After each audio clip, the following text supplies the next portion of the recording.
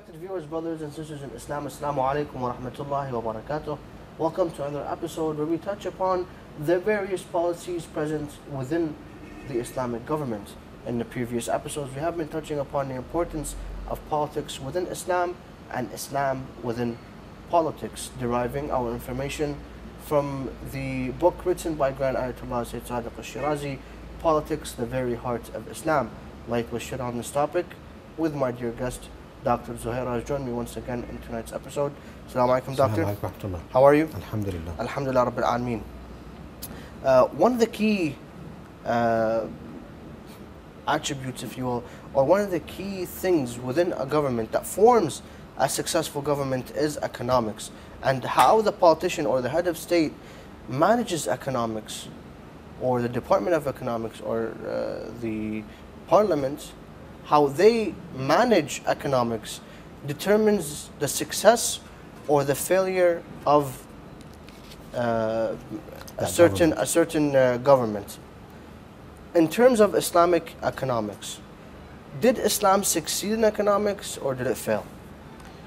بسم الله الرحمن الرحيم الحمد لله رب العالمين والصلاة والسلام على محمد وآله الطيبين الطاهرين Uh, indeed, uh, Islam uh, succeeded uh, um, uh, in, uh, in its economic policies uh, to the extent that people lived, the welfare of people were, were, was excellent and people lived in, in abundance in terms of comfort and in terms of availability of food and security and so on. Um, to the extent that if, if there was someone uh, poor or begging, that was something completely out of the ordinary.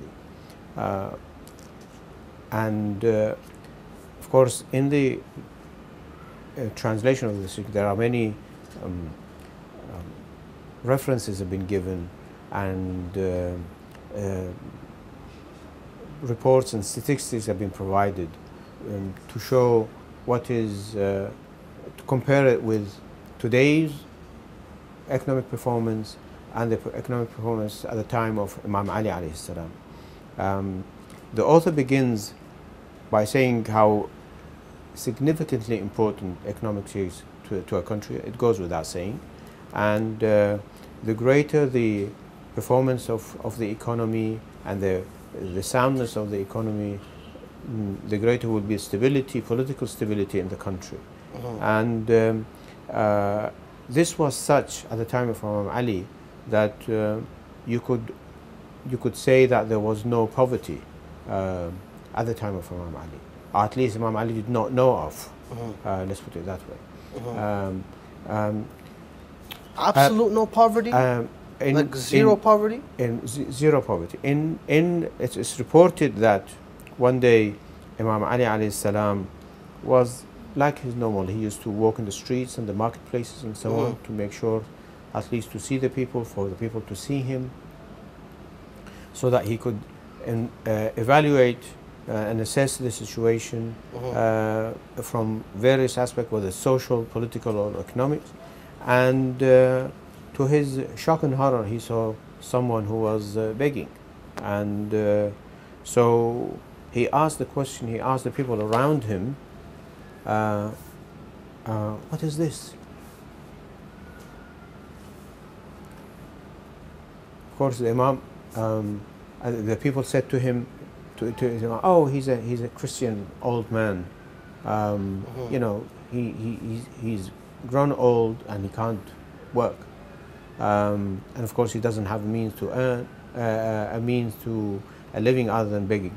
Mhm. Imam was very angry, very angry, and he was really angered by the by what he saw, and he was angered by the reply. He said he used him when he was young, and now that he's grown old, you uh, abandon him. and therefore, what Imam did, what Imam Ali alayhi salam did, was to uh, uh, assign a salary for him from Bayt al-Mal, Bayt al-Mal Muslimin, the treasury uh, of the Muslim, so that he could live in a dignified manner. Uh, the issue, the point is that this was uh, uh, an exceptional uh, situation in the sense that there were never any reports after that or before that uh, during the reign of Imam Ali alayhi salam that there were people in such a dire situation in, that they had to resort to begging from others in order to make ends meet. Uh, this goes to show the status of the uh, the welfare of the people, the sta- status of the people, status of the economy, and the state that people lived. Um, they did not have uh, poverty uh, in a sense that people had to. There were people who were poorer than others, um, but there weren't people who had to resort to big, uh, begging uh, like this uh, old man, which was an exception. Of course, immediately Imam Ali alayhi salam assigned salary for him from Bayt al-Mal. Um, this reflects on the success of the economy during the reign of Imam Ali alayhi salam, which of course that economy was based on the teachings of Islam and economics. Um, the author later on, uh, of course, we'll, we'll talk, go along this, um, uh, but we'll, we'll talk about the, the, the specific policies that uh, Imam Ali alayhi salam, or the teachings of Islam has on politics, on, on economics. But we'll talk about some of the events in here, uh, and then we'll resort, we'll talk about the actual uh, policies uh, uh, of Islam, which Imam Ali implemented. Salamullahi alayhi. Um, as you know, Imam Ali alayhi salam made sure that there is no waste and no abuse of authority or power and no abuse of the services uh, and and uh, the funds, public funds, in, in any way. Um, uh, he um, w- will talk about when, how he treated, how he, what he expected from his governors that he appointed, those governors that he appointed uh, in, in different parts of the, of the country. Um, he expected them to make sure that they don't abuse anything in any way, especially the public fund, uh, let alone the, the, the, the power.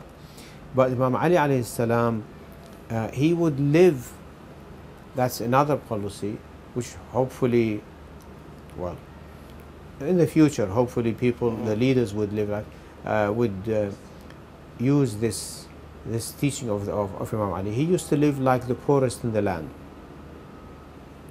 And we did touch upon that earlier in, in, in, in earlier episodes.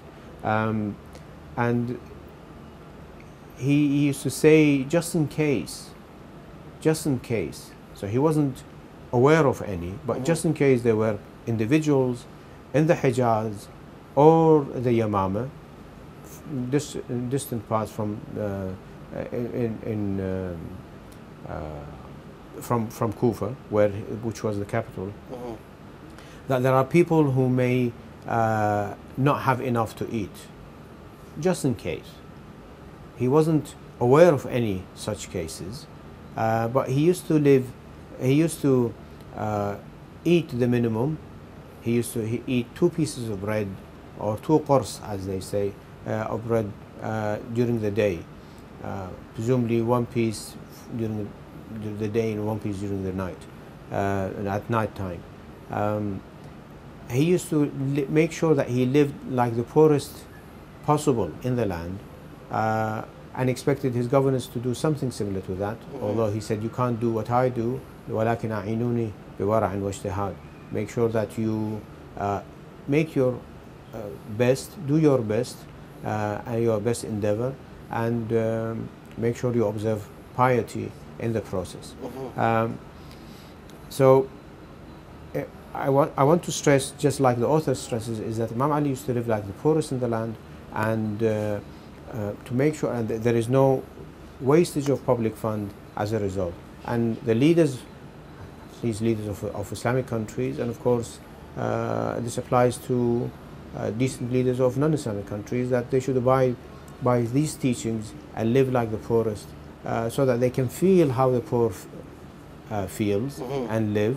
And of course, in the, also they would cut down on, on, on, the, on the expenditure of the head of state, uh, head of state and people like him.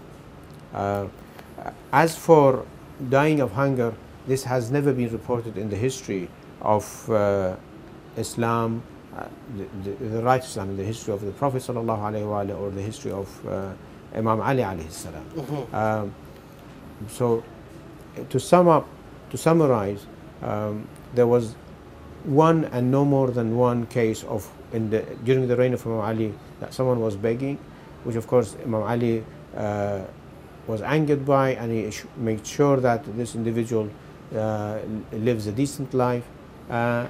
And Imam Ali lived like the poorest that you could have in the country. Mhm. Um, Now, in, in, in various stages, or in, in from after Rasulullah, uh, as you just mentioned, the, the, the correct uh, governments, if you will, we want to touch upon. Uh, the author also mentions in this book uh, something revolving around um, what happened in Africa mhm.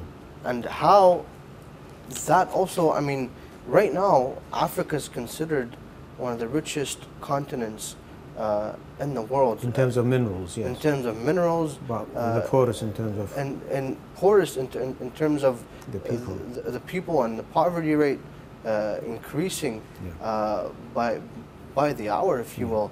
Uh, many people are dying. Was it the same during the time of Ali ibn Talib? Was it the same during the time of uh, Prophet Muhammad? Because he is sent for mankind, not just for Yes. the Arabs. Yes.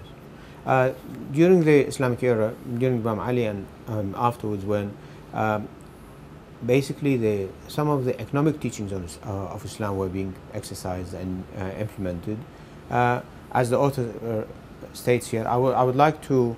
Uh, Inshallah, I'll come to some of the teachings of or the policies that he had in encouraging people to work. But Mhm. now that you've raised this, um, that it is stated that they used to bring the collection, the tax collected, or the khums or zakah, Mhm. which is collected, um, and uh, uh, to, to be given, and they used to say distribute it. They didn't. They say distribute it among the poor in, in Africa, Mhm. and uh, they said we did, and there were no poor. He said, okay, leave the money there, and tell people whoever needed they should come and take the money from here as they as they need.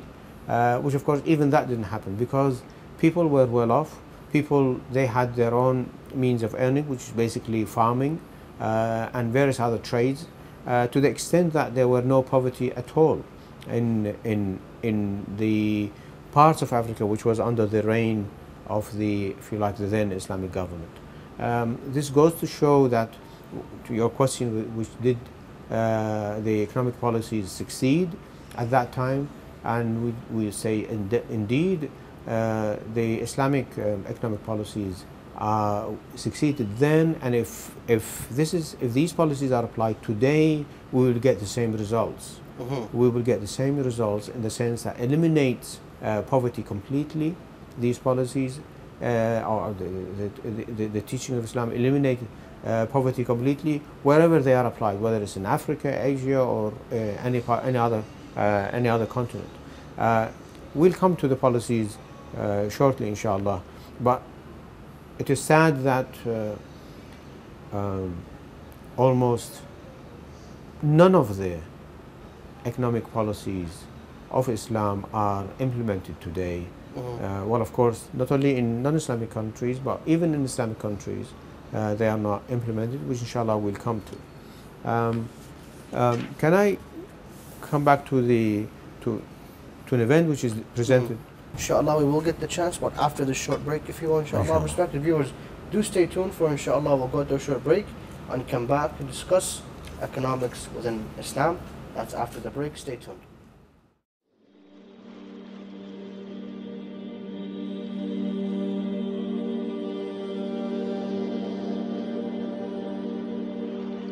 A brief biography of the eminent Islamic authority, Grand Ayatollah Sayyid Sadiq al-Shirazi. He was born on the 20th Dhul Hijjah in the year 1360 after Hijrah in the holy city of Karbala, Iraq. He was raised and cultured in a family that was renowned for its history of learning, striving, sacrifice, and morals. He received his specialist education of Islamic sciences at the hands of eminent scholars of the Hawza until he acquired a distinguished degree of ijtihad. Through his relentless endeavors, he developed himself in the quality of continually seeking knowledge along with unremitting observance of piety. Tirelessly promoting the teachings of the Ahlul Bayt, peace and blessings be upon them, disseminating their culture and defending their sacred laws and sharia. He has written numerous works in various fields on different levels, ranging from politics, economics, history, and ethics, to specialist works of Hawza students on such topics as fiqh and usul, which is also known as jurisprudence, that total more than 80. Sayyid Sadiq al-Shirazi has been teaching at the Hawza for more than 40 years. He is distinguished for being accessible to the people, directly dealing and meeting with various sectors of members of society, listening to diverse views from different spectrum of the community. Equally, he is distinguished for his humility, respecting the young and old, and also for his tolerance in regarding insult or evil with kindness and courteousness. He is renowned for his independence and for his policy of boycotting despotic governments. He over-observes hundreds of organizations and institutions throughout the globe, for example, those that address social issues such as marriage services and social reforms, those that address humanitarian matters such as clinics, orphanages, financial organizations giving interest-free loans, intellectual institutions such as centers for research and studies, seminaries, Hawzas, libraries, as well as religious centers such as mosques and Husayniyas. Respected viewers, brothers and sisters in Islam, Assalamu alaikum once again wa rahmatullahi wa barakatuh. Welcome to the second part of today's episode where we focused our discussion around economics within Islamic politics. This was discussed with my dear guest, Dr. Zuhair. Assalamu alaikum, Doctor. Allah khalikum. Now, before the break, uh, we touched upon various um, aspects within Islamic uh, economics, and you did mention how such economics, um, if you will, succeeded uh, in Islam. Now, we did mention about Africa and what happened in Hijaz, uh, and the way that Ali ibn Talib dealt, and afterwards. Uh, you, before the break, you wanted to mention an incident, I believe? Yeah. Um, yes, I basically what we've covered so far is that of, of events and cases uh, of how Imam Ali, uh, when he saw, Mhm. uh, if you like, the case of the of that individual seeking money from people, or Yes. the case of Africa and so on. Um, I would like to touch upon an, uh, an event that uh, took place and is presented here in the book, Mhm. uh, which has got uh, a number of uh, points which we can uh, uh, address, sort of talk about. Uh, it's reported that um, uh, some of these uh, freed men, if you like, th- those that is the non-Arabs who were brought to Kufa and then uh, certain time they were set free and they were freed individuals, but they decided to stay in Kufa. But of course, as I said, they, they were non-Arabs. They came to Imam Ali alayhi and complained that um, these Arabs, when we go and seek to marry their daughters, they would not allow us to do that. Uh, this was at the time when the Prophet sallallahu uh, uh, arranged that uh, Salman, who was a Persian, was uh, was married to Arabs. Bilal, who was a, uh, an African slave, a black African, he was uh, the Prophet stood for him so that he could marry uh, an Arab woman and uh, also Suhaib. Uh, but these Arabs uh, today they refuse to allow us to marry their daughters, and uh, so basically they asked him to come and intercede, basically to come and help, uh, try to convince them uh, of to convince those Arabs so that they, allow this marriage. So Imam Ali went and talked to them, but the Arabs refused. They said, "No, we're not going to do that." So Imam Ali again was sort of annoyed by this, but uh, obviously he couldn't do more than that. He said to, to these freedmen um, that they are treating you as non Muslims, as if uh, you were non Muslims, and uh, they don't, they're not prepared to give them, to give you their daughters, even though they marry your daughters. Um, so, as a policy, he said, uh, فَاتَّجِرُوا بَارَكَ اللَّهُ فِيكُم Go and enter into trade and to business and uh, become businessmen and tradesmen so that you become rich and you gain the status. Uh, of course, the, he only tells them to go and to enter into various businesses and trades. And of course, the purpose for that is that so that they could become rich and people would um, would see, would look up to them. Uh, and uh, uh, Imam Ali says, I heard the Prophet sallallahu says, uh, nine tenths of uh, rizq of uh, sustenance is in in tijara, Mhm. in, in in business.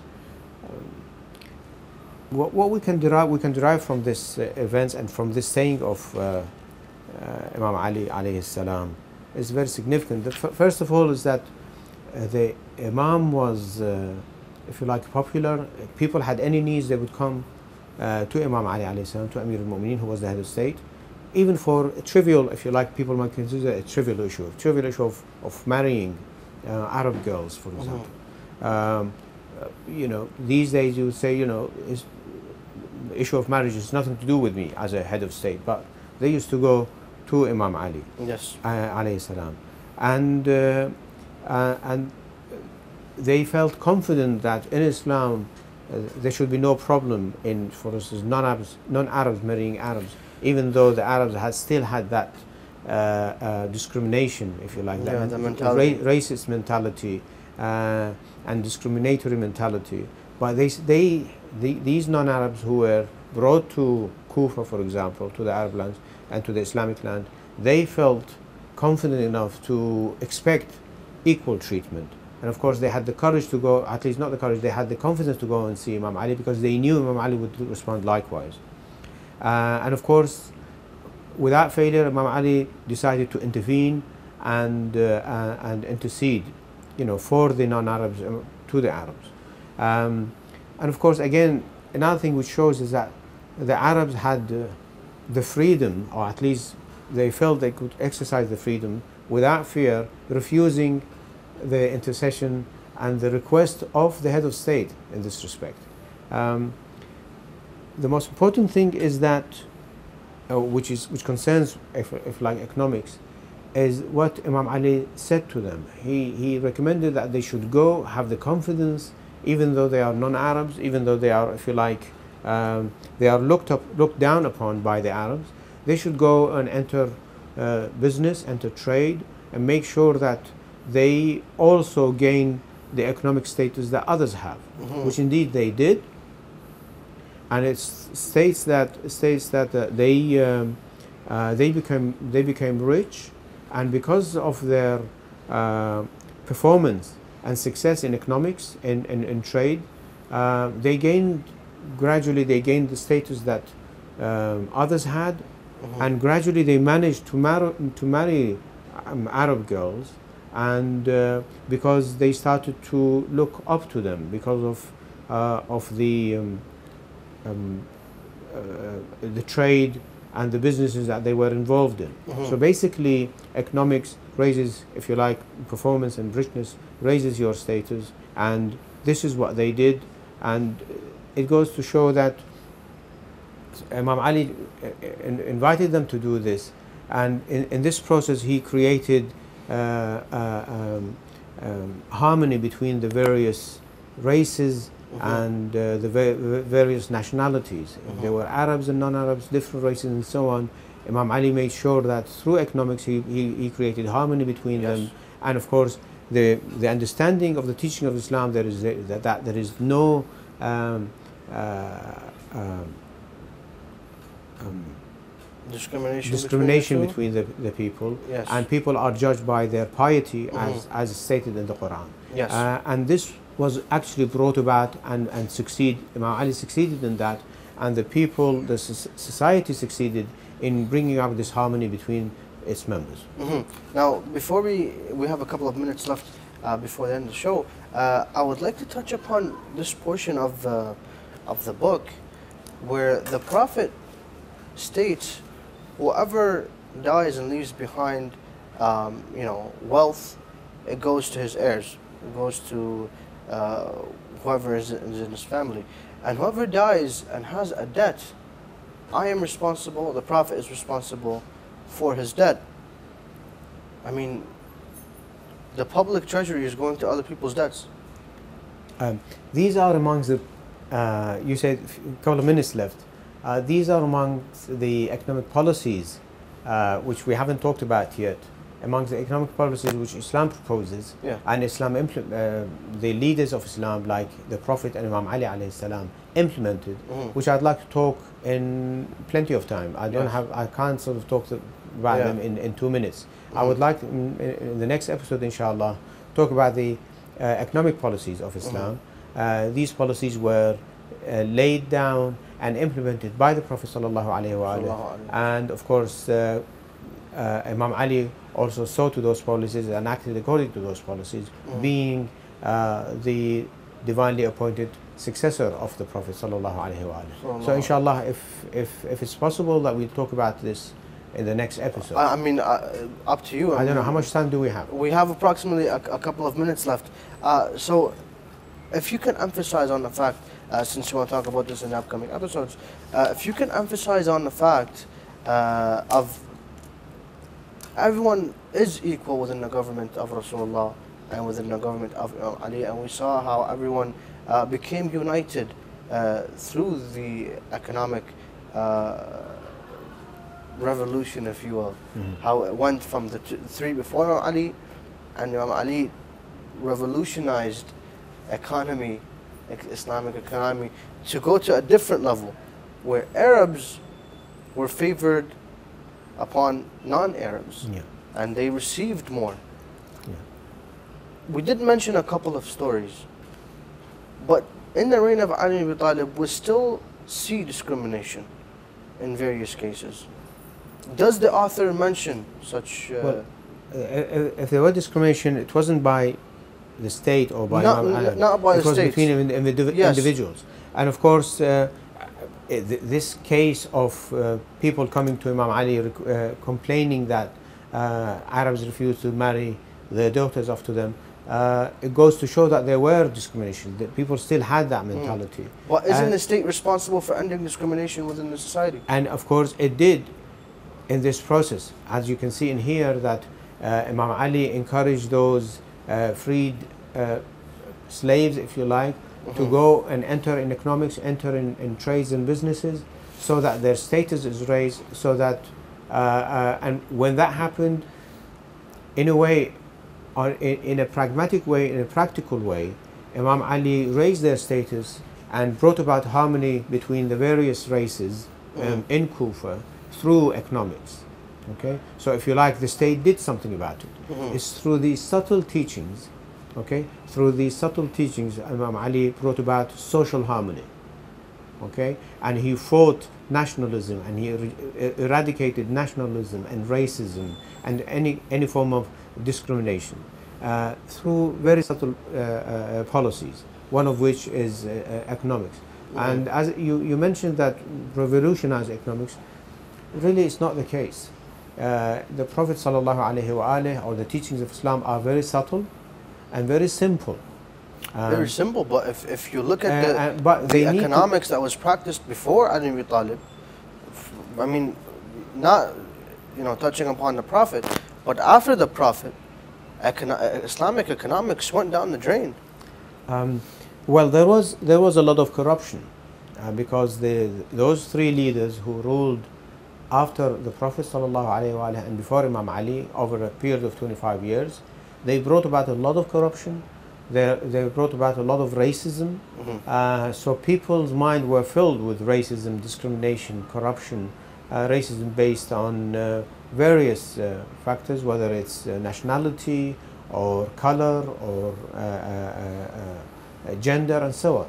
Um, so um, this, uh, th- these kind of discrimination really corrupted the minds and souls of the people and corrupted the economy. Mhm. And uh, you had, uh, uh, without naming names, you had people who, when they died, they left behind uh, uh, um, mounds of uh, gold and Yes. silver, and uh, or thousands and thousands of cattle, for example. Mhm. Whereas people were, on the other hand, people were dying of thirst and hunger. Yes. One of whom was none other than the, one of the beloved companions of the Prophet sallallahu alaihi wasallam, Abu Dharr. Abu Dharr, yeah. So we had extreme inequality, unfortunately, during the reign, uh, during the period before Imam Ali and after the Prophet sallallahu alaihi wasallam, Mhm. which was over 25 years. Mhm. So, yeah, they, they, there were these, and people developed or sort of uh, these uh, mentalities uh, uh, cemented in the minds of the people. Yes. And it took time uh, uh, to e- eliminate these from the minds of the people and the behavior of the people Mhm. during the reign of Imam Ali alayhi salam, Mhm. which Imam Ali alayhi salam did in a subtle way. Uh, although he requested them to uh, to change, sometimes they did, sometimes they didn't. But those who didn't, uh, they Imam Ali tried to address them in a in an indirect way. hmm And that's fully understandable uh, from the side of Ali Talib alayhi salam, uh, trying to bring back uh, the ummah that Prophet Muhammad wished for uh, in, in, in this matter. But uh, inshallah, as you mentioned, we'll continue uh, the discussion uh, of uh, the, The policy of Islamic social policy. security Yeah. uh, within Inshallah. Islam, but inshallah in the upcoming episodes. Inshallah. Respected viewers, it's very important to touch upon the facts that Islam was one of the reasons why economics and history developed in a very, very uh, fast way. And uh, if you want to learn how or why this happened, you can tune in and watch every episode of the series to learn about politics in Islam and Islam within politics. Thank you very much for tuning in tonight. Wassalamu alaikum wa rahmatullahi wa barakatuh. Assalamu alaikum. Allah yakhlik. Ah